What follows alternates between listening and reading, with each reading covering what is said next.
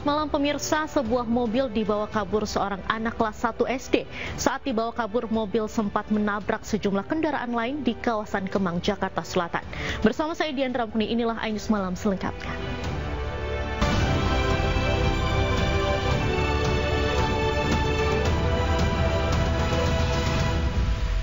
Hari nih, tabrak lari mobilnya.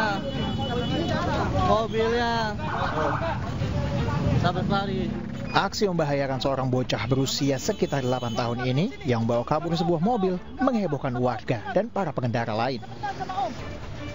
Dalam sebuah video amatir tampak sebuah mobil dalam kondisi rusak karena sang bocah sempat menabrak beberapa kendaraan roda 2 maupun roda 4. Aksinya ini baru bisa dihentikan saat mobil itu akhirnya menabrak pembatas jalan.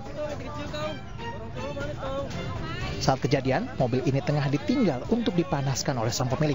Saat itulah, bocah laki-laki ini menyelinap dan membawa kabur mobil. Anak kecil bawa mobil. Anak kecil bawa mobil. Oh. Anak kecil bawa mobil.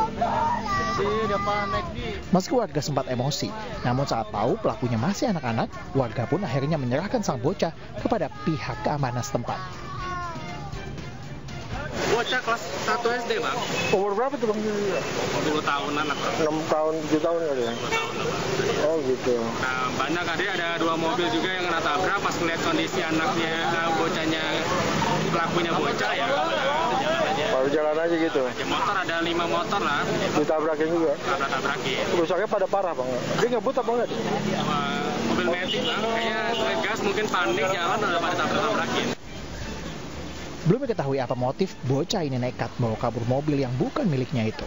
Sementara, kasus kecelakaan dan upaya pencurian ini akan diselesaikan secara kekeluargaan. Dari Jakarta Selatan, Helmi Sajangbati melaporkan.